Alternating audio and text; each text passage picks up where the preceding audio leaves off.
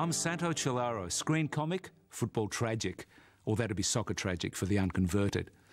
Tonight's story is about Ange Postecoglou, the national coach who earlier this year silenced the naysayers and led our struggling Socceroos to their biggest victory ever, the Asian Cup, capturing the hearts and dreams of us all. This is his story. Ange's a hard ass and, and he's tough and his management style is a little bit like lead, follow, or get out of the way. Everyone's vulnerable.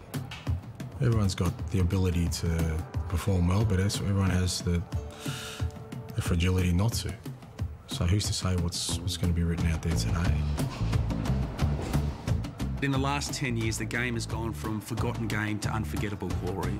He was the guy that decided that we could when everyone told us we couldn't. He was just driven because he loved the game. It wasn't the glory, the headlines, it wasn't the publicity, nothing like that. With him, it was always the game. He'll take on all the pressures of planning and, and training, but then the players get the chance to explode on the pitch He'll go for Spezzaga. What about that? and create some history. Oh, what a goal from Massimo Luongo. That's what I love about sport. Maybe it's what I love about life is that no story is yet written. There are lines and pages, but the ability to, to change where that goes is in, it's in your own hands.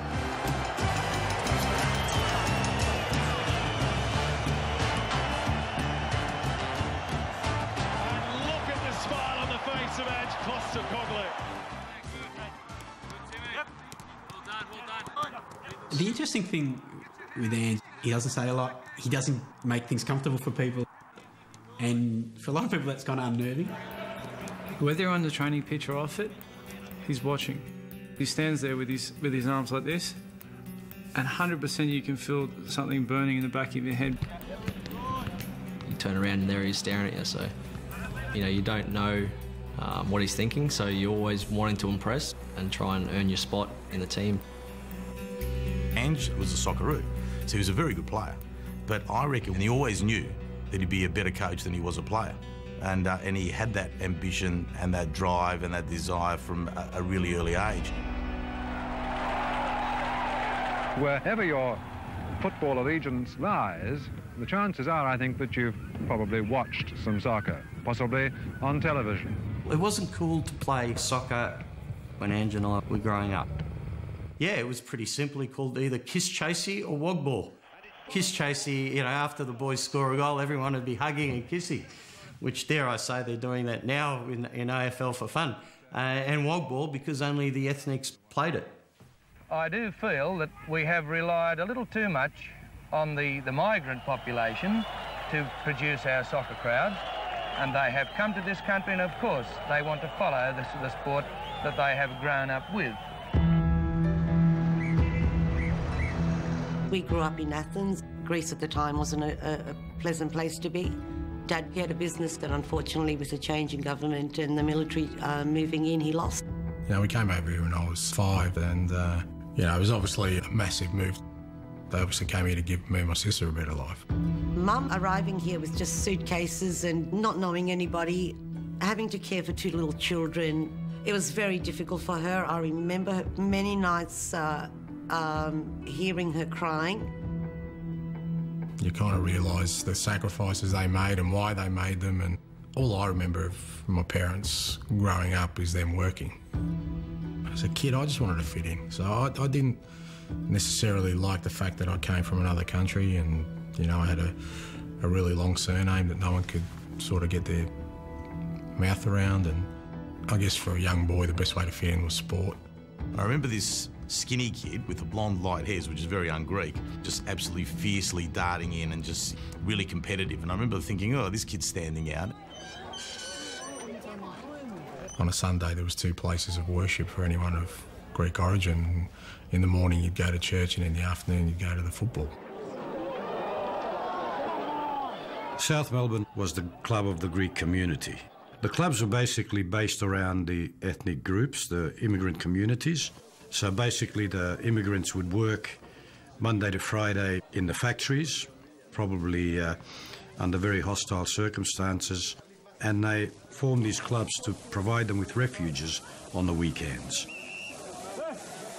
These little clubs were really strong pillars in each community, just providing comfort and, and support to people who had made a pretty big decision to, um, to come to a new country.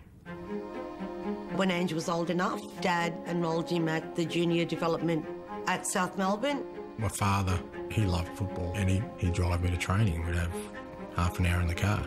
You know, me and my dad was, you know, for, for a boy, that's what I was after. Very quickly, the whole game just consumed me from then on. He was like a sponge, so anything to do with soccer he absorbed. He would sit in on conversations with older people as they discussed it. He would uh, watch what little television there was in those days, uh, magazines, uh, books, stories, anything. Blackie Gray's knocked it in. Rovers have equalised. Goal! I just love reading about it, you know, where it was about the managers or, um, you know, Q&As with players. Um, it took me to another world, to be fair. And I think it's why I keep them. Um, it just reminds me of what my childhood was sort of like. It was a lot of, uh, you know, living in a sort of a fantasy football world that didn't exist here in Australia. Danny Wright. That's a run forward, just chipping that one inside, looking there for Trimboli. Here's Postecoglou, and there's the equaliser from Angelo Postecoglou. I first spotted Ange when, in the mid 80s, he came through as a young player with South Melbourne. And he had a long mullet flying behind his head as he galloped up the field. He was an attacking player, very, very quick. Right with the cross. Postecoglou with the header. Angelo Postecoglou. When I turned up, he was already uh, captain of the club at 21. That's his fourth goal of the year. South Melbourne had a massive expectation. The Greeks would pack in there, and God forbid if we drew a game or lost a game. It was expecting you had to win, but you had to win in a certain manner. You need to uh, play exciting football. You need to always play an aggressive attacking soccer was expected of you. A dangerous play from Angie Postecoglou. And he went on to have a terrific career there. He captained the Tour Championship, played in a couple of championships as a, as a player. South Melbourne, the National League champions for the second time. And then went on to coach at South Melbourne as well, and then going on to be, you know, a really, you know, a legend of the, of the club. We'll see everyone back at the South Melbourne Social Club, okay? Well done. I met Ange at work. He was the senior coach of South Melbourne Soccer Club at the time, and I was the club's um, marketing manager. Initially, I wondered why everybody around him and around the club was so fascinated and respected him because he's not someone that's I would describe as charismatic or he probably will hate me saying this, a charmer. You ever get sick of this? Nah, Cindy, it's all good. I didn't get it. But then only afterwards I got to understand, you know, him as a person and you'd see him on the ground. He'd strike conversations with kids because he saw them how much they were enjoying what he enjoyed and how much he loved the game. Is it the start of another dynasty? As a young coach, he was very successful in the old National Soccer League. He won two championships with South Melbourne. And in 1999, we won the right to compete in the World Club Championships, where the best clubs from each continent would play each other in a tournament. It was South's last hit out before the World Club Championships in Brazil, where the defending NSL champs faced three of football's big guns, including glamour English club Manchester United. It's going to be tough. I mean, for a team from Melbourne to be playing those, you know, calibre teams. But hey, it's a once in a lifetime opportunity, isn't it? So how does that happen? You know, it's like a real unique set of circumstances. Uh, You're playing in shirts that literally cost ten bucks against Manchester United, David Beckham. Yeah, I remember. We're playing, we, we were losing, but we were trying to make a bit of a late rally. And I'm running around and I'm thinking, where's everyone? I look over. It's about three guys just circling around, Around Beckham, waiting for the final waiting whistle. For the final whistle so they can swap shirts. South Melbourne playing the better play, the better football. Ange embraced it and uh, certainly sent the boys out, and we didn't disgrace ourselves at all. We were more than competitive for most of the game. There's the uh, Australian coach. It was kind of the, yeah, the, the seminal moment where I stared down the beast. After that, I had nothing to fear. Well, after the successes of South Melbourne, Ange was eventually offered to coach the Australian youth teams. I would now get to challenge myself internationally, not just you know, domestically, and I was looking forward to it. He was basically given the keys to that kingdom and turned up and uh, realised it was, you know, a wreck because the National Soccer League was on its last legs. The support structures required to actually do that job, particularly in a development role, were probably not there for him. By 2005, I didn't coach well because I started worrying about all this pressure that was intensifying over the fact that we hadn't got results at youth level for a few years. I was close with him um, during those difficult times where he was copping a lot of criticism. And if anything, I probably acted a little bit of a sounding board. My previous marriage had finished years ago, and um, George, she's a real positive person, and I kind of needed that because it just seemed like, um, yeah, as I said, a lot of uncertainty, almost a dark, dark cloud over where I was heading in, in a professional sense. In late 2006, Ange Postecoglou's Australian youth team failed to qualify for the World Cup, now for the second time. Thanks for joining us. We invited Ange onto the World Game program to be interviewed not just by me, but by my colleague Craig Foster. You're paid Why to do you keep saying the I'm pointing to the players? You're obviously not listening to me, mate. So I remember Craig telling me, I'm going to grill him. You know, he can't get away with this. And uh, I said, well, you know, go for your life. and he did. And he did. Yeah, but you, you, I mean, you can't just point to the players. You've got to take responsibility yourself, don't you? The interview with Craig went out live, and uh, it's become a bit of a iconic event in Australian football television history. I don't, I don't sit in glass Our houses, mate. I'm standards. out there. Well, mate, listen, if I, what I'm saying is, if I didn't qualify the team you twice there- like you, I'd put my hand up and I'd walk out, because that would happen in most other... Well, I think the one point that kind of set me off was, you know, he was asking me to resign. So you're saying I should resign? I think That's you your should, yeah. opinion, is that right? That's my okay, opinion. fine. I let it run. I got criticised for letting it run, but I, I, I felt the questions that were put to Ange required answers. Are you going to resign then? That's the next question. And the producer's instinct in me told me that uh, it was very, very good television. I'm just Oh, going you're on your wrong. results, right? I'm not attacking you personally. I I'm know saying... you are. Yes, you... Well... Okay, you're not attacking me personally. That's great. I feel much better because you're a really close mate. I don't Oh, care I what you don't think care. of me We were personally. not on here to be mates. I remember straight after doing it, that's all people wanted to talk about, that interview. And I thought, well, this is, is this what I'm going to be defined for now?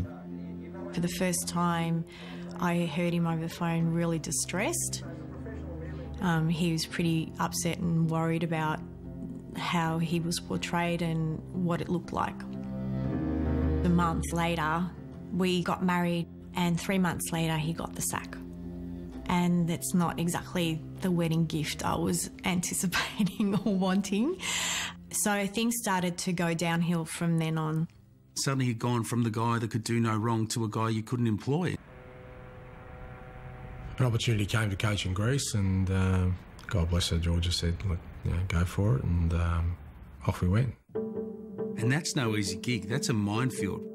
But that said to me that he was determined to learn, get better, and be the best coach he could be. When we got back from Greece, um, Ange still couldn't get a job. We didn't have a place to live, so we moved back with my mum for about six to eight months. It was TV work that mainly sustained me, and then I was doing some bits and pieces with coaching kids and running clinics because I just wanted to keep coaching. Okay, we're on air for offsiders. We're straight out to camera four. I was worried for Ange. When you can't get the opportunity, it's frustrating. So I saw frustration. What I didn't see through any of that time at all, ever, and I've never seen with Ange, right, is him questioning his ability. It's amazing, uh, it's amazing how many um, how many times it does happen. In fact, that period of time, I think over over a couple of years, what he developed was this real clear mindset on what he wanted, what he wanted to do as soon as he got the opportunity. He knew exactly where he was going to take a team, how he was going to do it, and, and, and transform the way that football was being played. We were doing a broadcast, and uh, after the game, I was leaving, and in front of me was Archie Fraser, who was CEO of the A League at the time. I just said to him, "Look, I'd love to have a crack. I'd love to have, get back into coaching, and I'm desperate. I think I've got something to offer." I knew him from South Melbourne days. I suppose I was surprised that Ange couldn't get a, a gig, and um, we just had a chat. Anyway, a couple of days later, um, we see on the news that Frank Farina, who was the head coach of Brisbane Roar at the time, had got picked up for drink driving. Ange received a phone call from Archie not long after that and said, Is there any way you can get yourself to Brisbane? The next day, he jumped on the plane and went and met uh, the owners of Brisbane Roar at the time. You know, I said, I'm going to do things differently. You know, if, if you're happy with what you got, I'm not your person. And I sensed in them that they want to change as well. It wasn't a great six months when he first came. He did a big clean out of our team. He moved on people that he thought didn't fit in at the club, and he brought in his own players. Last night, Brisbane Roar's week quickly moved from bad to worse. I wanted to leave a mark, and part of that was even the way the game was played. We wanted to be an attacking team that sat better with me as a person, my personality. No opportunity to make mistakes tonight. And it looked crazy for a while because they were awkward and they would get themselves in trouble. But they were absolutely determined to play on their own terms and play an attractive, exciting brand of football to entertain and to win games. And eventually, it worked. It was brilliant to watch. Stunning stuff from the Roar! The Brisbane Roar under Ange is the best Australian club team I've ever seen. Unbelievable!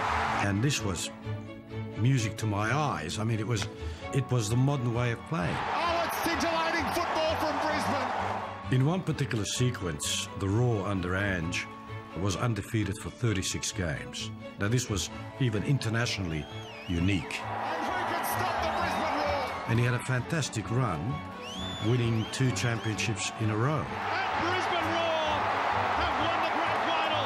Oh, yeah! They were just really, really happy times. And we had just gone through a really, you know, pretty shitty time in our lives uh, that lasted probably a lot longer than we both thought. Um, it just made the victory even sweeter. By the second year at Roar, I was agitating for something different again. That was now my constant driver. So we moved back to Melbourne, um, and Ange was the head coach of Melbourne Victory. At the Melbourne Victory, Ange Postecoglou was doing well. He was building a quality team.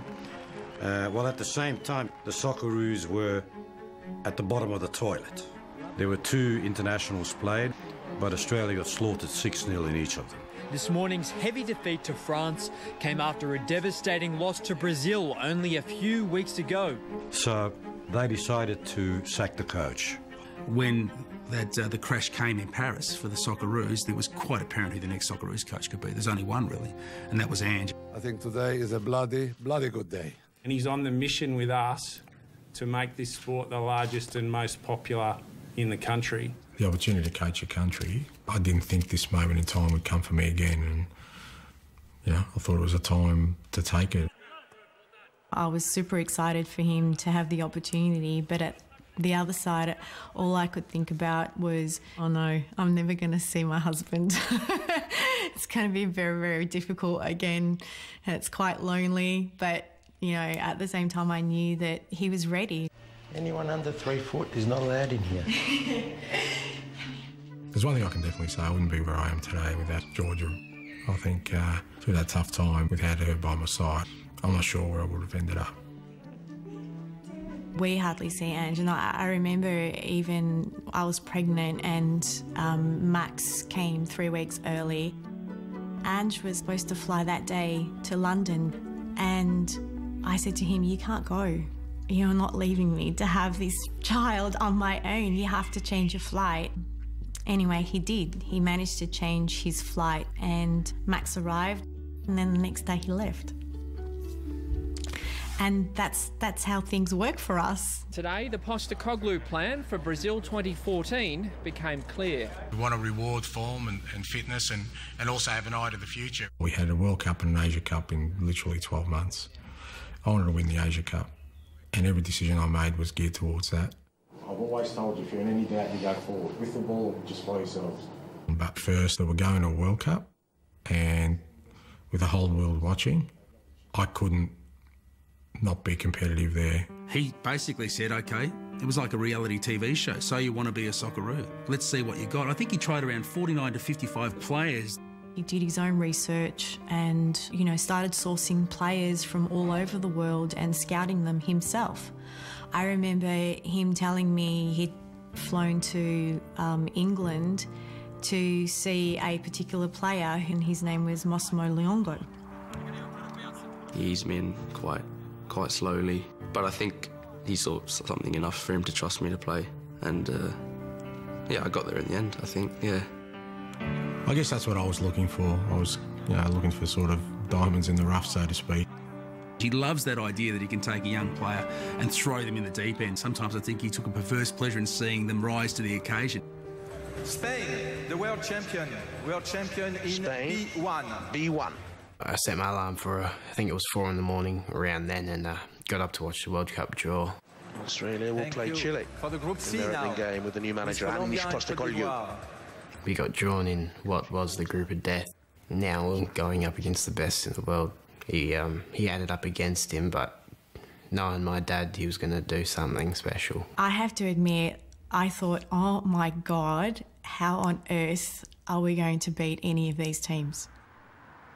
And James, his son, actually sent him a text and said, This is fantastic. You know, the whole world's going to be watching your game. This is your time to shine. And I felt that's exactly right. And that's the way I've approached everything in life. And, uh, you know, what others saw as something daunting, I saw as an opportunity to make the mark I've always wanted. And we almost did. Everyone expected a couple of tennis scores, six love, six love. Something in the team clicked. I think Ange had taught them to hold their nerve. World Cup was unbelievable. I knew exactly what I was doing. I knew what the team was doing.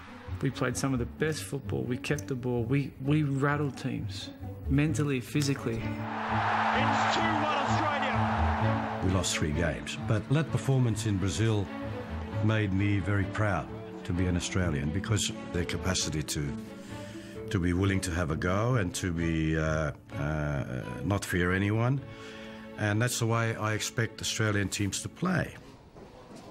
He sat us down straight after the last World Cup game. He said, um, you know, look at, you know, successful tournament. Um, you know, we did Australia proud, but our next aim now is the Asian Cup.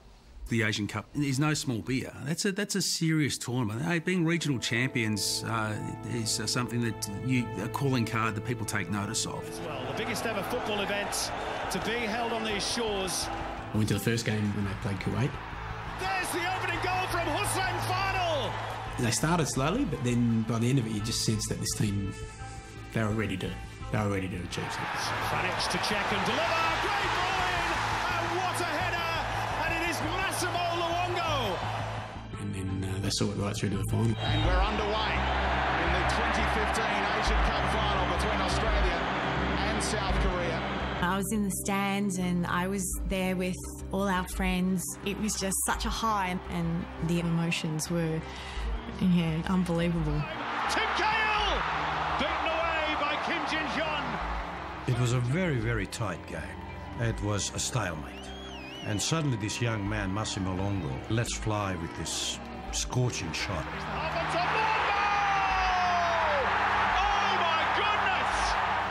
The place went nuts. And uh, I thought, well, this Massimo Luongo is not a bad pick uh, by the national coach. Postecoglou starts the pace. When the game was on and we were winning 1 0 and maybe two minutes to go, I sensed the whole stadium sort of just go quiet a little bit. And I think everyone was just waiting for that final whistle. And I got really uneasy. I just thought, something's going to happen. And I turned around and sort of tried to get the crowd going. Wow.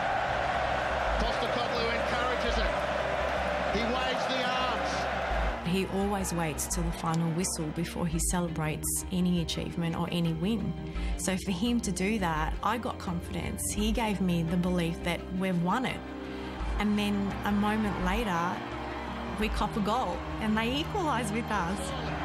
Here's the chance. Son Heung-min inside the box. They've scored. And I just felt that the air had been sucked out of the stadium, not just the players, but every supporter in there. And as soon as they scored, pretty much the final whistle went. Liverpool will need extra time to separate the teams.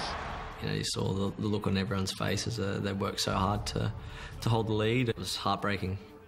Yeah, it was just heads down, really, um, until we got over to the huddle. I looked over at the Koreans who were already sort of in their huddle and either getting massages or fluids. They'd given everything. And I looked over at my group, not one of them was on the ground, they're all standing. They're just waiting for me to talk to them, and I just thought, wow, that's it, we've got them. I just said, I walked over and I said, have a look. They're gone, they're finished. Just take it, take the moment. And when they left the huddle, the last thing I said was, this is going to make it a better ending. And there was never any doubt we were going to win it after that. Maybe even second time. Still we go on. Juric has wriggled his way clear. Chance! Goal! For Australia! James Troisi! That's it! That's it! They've done it! They have done it, Australia! History created! That's the most I see Dad move when he starts celebrating it. It was pretty good feeling seeing him running around, um, pumping his fists in the air, getting into it. I was a bit worried about his suit because he was he was stretching it out, but that's all right. Yeah. It's a funny one in that in that moment. You get a huge relief that, that's come to fruition, and I just sit back and I just watch everyone else. I, I just I get a real buzz from seeing people celebrate uh, that, that have worked hard for it, seeing the satisfaction in their faces, and then you know your family, friends, Georgia, James, you know that they're all in the stadium, and you kind of look for their faces. It was for everybody. It was for everybody who'd ever put up a, a net, who'd put a corner flag, who'd carried water bottles. Uh, we get to hold the cup that particular night.